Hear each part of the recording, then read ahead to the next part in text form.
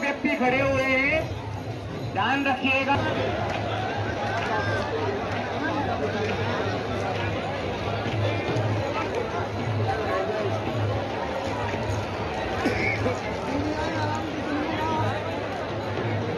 अभी